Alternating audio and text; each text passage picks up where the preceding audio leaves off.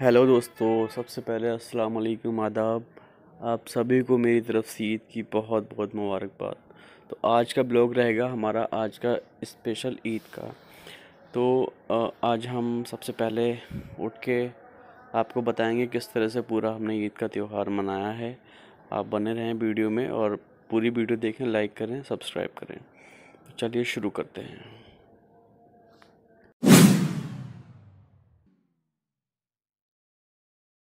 सुबह हो गई है, मैं उठ चुका हूँ और मैं रेडी होऊँगा, गुसल करूँगा और नहाकर रेडी होऊँगा जाने के लिए। अब मैं नहाने जा रहा हूँ।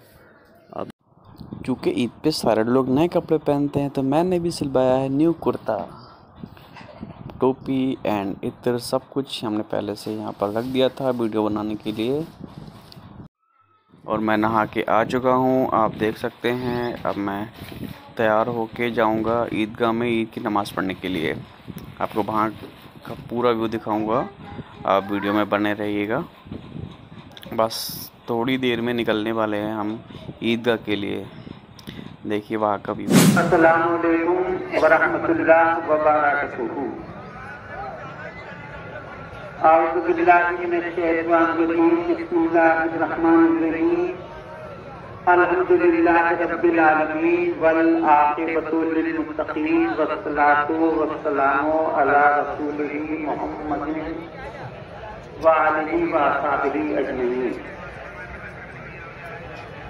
तो ईद की नमाज़ हो चुकी है, सब लोग ईद मिलेंगे अभी, एक दूसरे के गले मिलेंगे, जो भी गिले शिकवे होंगे सारे दूर करेंगे।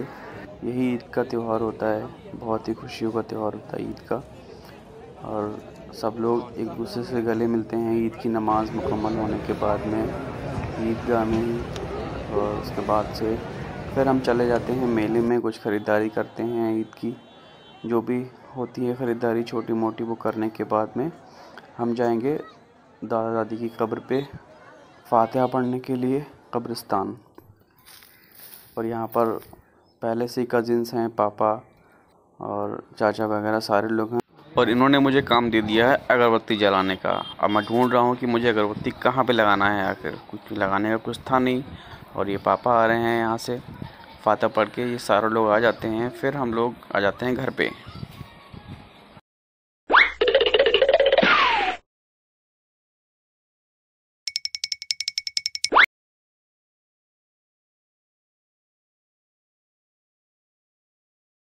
और देखते देखते इस्लाम और नफीस में हो जाता है झगड़ा और वो भी खिचड़ा बिरयानी के पीछे।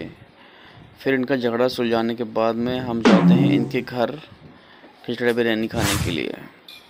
फिर जाते हैं नफीस भाई के यहाँ यहाँ पर खिचड़ा बिरयानी की दावत थी, यहाँ भी हम लोगों ने खूब पेल के खाया है। उसके बाद में वापस आ जाते हैं घर घर आने के बाद।